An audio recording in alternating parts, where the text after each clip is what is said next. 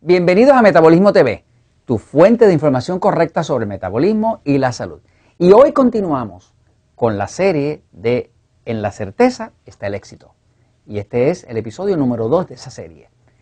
Y en esta última serie estábamos hablando del conocimiento. Yo soy Frank Suárez, especialista en obesidad y metabolismo. Voy a la un momentito para continuar donde dejamos en el último episodio. En el último episodio estábamos hablando de que en esta serie de en la certeza está el éxito, pues lo primero que hay que mirar es que para uno tener éxito, uno necesita tener control. Control se define como la habilidad de empezar, cambiar y poder parar algo. Cuando usted lo puede empezar, cambiar o parar, si usted puede empezar, cambiar o parar su metabolismo, usted va a tener éxito. Si usted no puede empezar, cambiar o parar su metabolismo o cualquier cosa eh, dañina que haya con su metabolismo, pues usted no va a tener éxito. Y eso se adquiere a través del conocimiento. Pero entonces quiero entrar ahora y explicarles un poco más sobre este tema del conocimiento. Vamos a hablar un momentito del conocimiento, porque resulta que el conocimiento tiene categorías de conocimiento. La forma más fácil que yo he visto de explicarles es la siguiente. El conocimiento es mucho más que datos. Por ejemplo, una persona pudiera estudiar una profesión y pasarla con muy buenas notas y luego fracasar en esa profesión. Porque adquirió los datos, pasó los exámenes de memoria, pero no los adquirió como conocimiento. Y como no los adquirió como conocimiento, sino que era un embotellamiento de datos, pues pasó su examen con 100 y terminó con buenísimas notas, pero la realidad es que cuando va a la práctica no puede obtener los resultados de quizá otra persona que no tiene tantos estudios, pero tiene más habilidad de observar. Hay mucha gente que estudia algo y no termina trabajando en lo que estudiaron.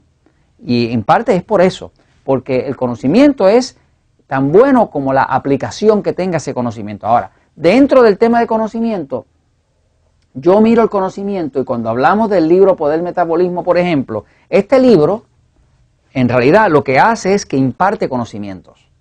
Hay personas que se me acercan a través de los años y me dicen, mire, ¿qué yo tengo que hacer para bajar de peso? Y digo, pues lo que tiene que hacer es leer el libro. Ah, no, yo más o menos lo miré por encima. Y dije, pues ya fracasaste. Si lo miraste por encima y brincaste capítulo, ya fracasaste. Así que no tenemos más nada que hablar, porque lo más que yo puedo hacer por ti es darte el conocimiento de qué es lo que funciona. Si tú no lo puedes adquirir o no estás dispuesto a adquirirlo, pues milagrosamente no vas a lograr un éxito, porque si el conocimiento es lo que te da el control y el control es lo que te da el éxito, si no tienes el conocimiento que está aquí, pues no hay forma de ayudarte. Entonces, el conocimiento yo lo veo como una pirámide. En el mismo libro El Poder del Metabolismo hay un capítulo que se llama Datos Vitales, Datos Relevantes. Y es por lo siguiente, fíjense. Yo veo el conocimiento, el conocimiento tiene como compartimientos, como categorías. Son categorías de conocimiento. Cada cuadrito de esto pudiéramos decir que es un conocimiento. O sea, hay mucho que saber sobre este tema de la salud, del metabolismo. Hay mucho, mucho para aprender. Imagínese usted ahora que tiene esta pirámide aquí ahora, con todos estos conocimientos, y esos cuadritos, cada cuadrito de esos representa un conocimiento. Quiere decir que a lo mejor por aquí hay un tipo de conocimiento que le habla, qué sé yo, de la vitamina C. Ok, es importante saber sobre la vitamina C. Eh, aquí hay otro que le habla sobre la proteína. Perfecto. Es bueno tener esa información, ¿no? Ahora, dentro de ese cúmulo de conocimiento, que es como si fuera un mar de conocimientos, está lo que se llama un dato vital. Están los datos vitales, vitales. Vitales son datos que si usted no los tiene y no los aplica, usted va a fracasar asegurado. Ahora, también hay datos que son datos relevantes. Relevantes es que tienen que ver con el tema. Pero usted, si usted falla en aplicar uno de los datos vitales, usted va a fracasar. Porque son vitales, vitales al éxito de ese tema.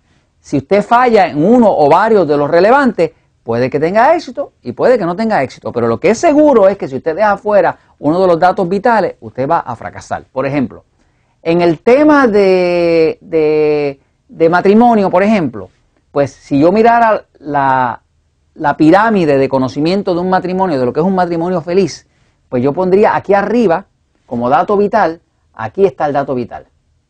Este dato es el dato vital, el más importante que todos los otros. Por ejemplo, ¿qué sería vital en una pareja? Pues sería vital que haya fidelidad, que no haya infidelidad. O sea, que una pareja donde hay fidelidad, donde el acuerdo está eh, firme, donde, donde hay ética y fidelidad, pues esa pareja todo lo otro lo pudiera poder resolver. Porque viene la fidelidad, viene el cariño y el resto de los otros problemas se resuelven. Es importante que él sea un buen proveedor. Es importante que ella sea una buena ama de casa. Es importante que él sea un buen padre. Todo eso es importante que hay dentro de los datos relevantes. Pero el que es vital es que tiene que haber fidelidad. Si fuéramos a hablar del tema de la salud en general, pues el dato vital sería que un cuerpo tiene que respirar. Si el cuerpo no respira, no hay oxígeno, se muere. Usted pudiera decir, bueno, es muy saludable bañarse. Es muy saludable eh, lavarse los dientes. Es muy saludable eh, poder ir al baño con regularidad. Todo eso son datos relevantes. Pero si usted no respira, que es el dato vital, pues el resto no va a funcionar. Quiere decir que en cualquier tema que usted aborde, siempre va a haber un dato que es vital.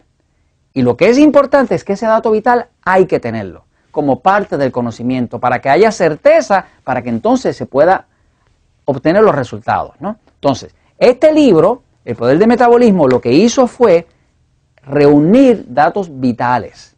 En el libro también se mencionan algunos datos relevantes. Por eso es que los capítulos del libro están marcados, esto es un dato vital, esto es un dato relevante. Lo que es seguro es que si usted quiere tener éxito con el tema del metabolismo, usted necesita, por lo menos los datos vitales los tiene que tener. ¿Cuáles serían datos vitales? Pues son datos vitales como si no toma agua, despreocúpese que usted no va a adelgazar. No importa lo que usted haga.